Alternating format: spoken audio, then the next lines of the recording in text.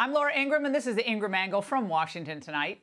Trial by error. That's the focus of tonight's angle. And they might be asking, why is public trust in the American judicial system declining? Well, it's not simply the BLM propaganda flooding our schools, our universities, that's told young people that disproportionate incarceration of African Americans equals racism. It's not just that. Respect for our justice system is also cratering due to Democrats' crusade both against Trump and against traditional Americans in general. Now, for the most egregious example, look no further than Trump's civil trial in New York, brought by Trump hating activist Letitia James. Now, yesterday, Judge Arthur Engoron, who looks like any random legal panelist on MSNBC, blatantly revealed his anti Trump bias for the world to see because he went so far as to mock Trump's phrase about the perfect phone call, even using air quotes as he said it. Now, a conversation with the president, let me just get this right. A conversation that the president had with Zelensky is somehow fair game for a fraud trial that deals with actions years ago? Look, I saw this and I thought, look, nobody will be surprised by this. This guy's a lefty going back to his days as an anti Vietnam War protester. We all know what's going on here. No case like this has ever been brought in New York, overvaluing assets, and they're bringing it now only to try to break Trump financially. And we know if Trump never ran for president, they never would have targeted him, never would have happened. That's undeniable. And it's prima facie evidence of the rank political vendetta at work here. Now, the media has made it very clear to any Democrat in the DOJ or the DA's offices around the country that their job is to prosecute Joe Biden's political opponents by any means necessary.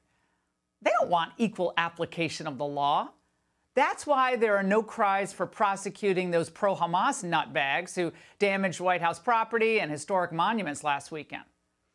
Now, imagine if it had been conservative protesters who tried to scale the White House fence or who splattered paint on the gates.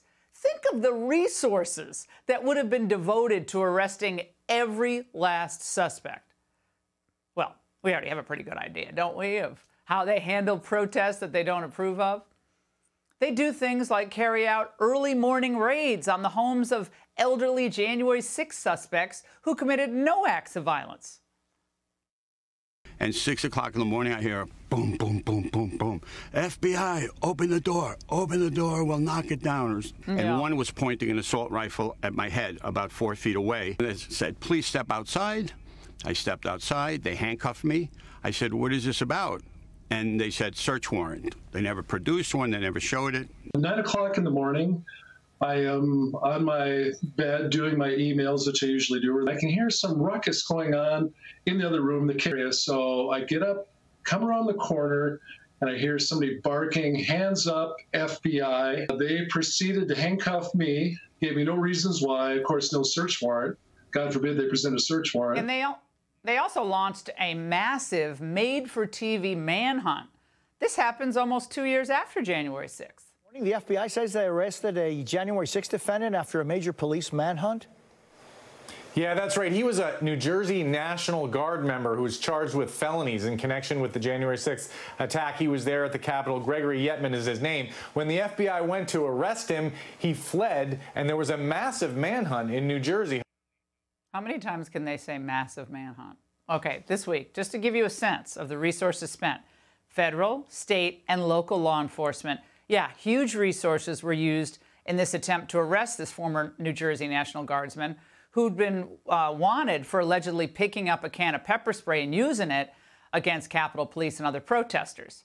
So this guy, Gregory Yetman, was 46 years of age, turned himself in without incident. But the FBI made its point, didn't it? And by the way, this was all done to arrest an individual who the local mayor said was no threat to the community. Which begs the question why did they need to deploy SWAT teams, police canines, call in the helicopters, roadblocks, all that? Why did they need to do that? Well, many Americans get it, right? They see it for what it is. This is a two tiered system of justice. Arresting this guy with such a big display of force is a message to all of you. Not worth attending a rally, any kind of rally.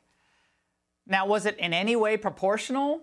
Uh, that the head of the Proud Boys, who wasn't even at the Capitol on January 6, was handed a sentence of 22 years in federal prison? The prosecutor said that the sentence was meant to deter others who were, quote, unhappy with the results of future elections. Huh. Well, how many fentanyl drug dealers whose pills have killed people get that kind of sentence? Just last month, the dealer linked to the deadly pills sold to actor Michael K. Williams, he got a measly five years in federal prison. Five years for selling a deadly drug that killed a man. So we have gang members, we got drug dealers, rapists, child molesters, murderers, and perhaps even terrorists who've crossed our southern border. And yet the Biden administration, they don't seem to care about that. There's 280 something people on the terrorist watch list. Are they out of the country or are they in the country? Senator, they very well may be out of the country. But you they don't know. But they know where those January 6 people are. I they just don't care about the border crossers because that narrative is bad for them politically. Yet not so with the January 6 cases because they're key to Biden's campaign. Thus, the DOJ is still expending massive resources on those cases. We've seen about 1,200 uh, cases thus far, but 1,000 other people have been identified. And on top of that, you got 1,000 others who are unidentified yet who could face charges. And the statute of limitations expires in early 2026. Look, as long as the Democrats think that this helps them politically, they're going to keep the charade going. When true threats to society run free. This simply makes us trust them less, though, if that's possible at this point. And that's the angle. Hey, Sean Hannity here. Hey, click here to subscribe to Fox News YouTube page and catch our hottest interviews and most compelling analysis. You will not get it anywhere else.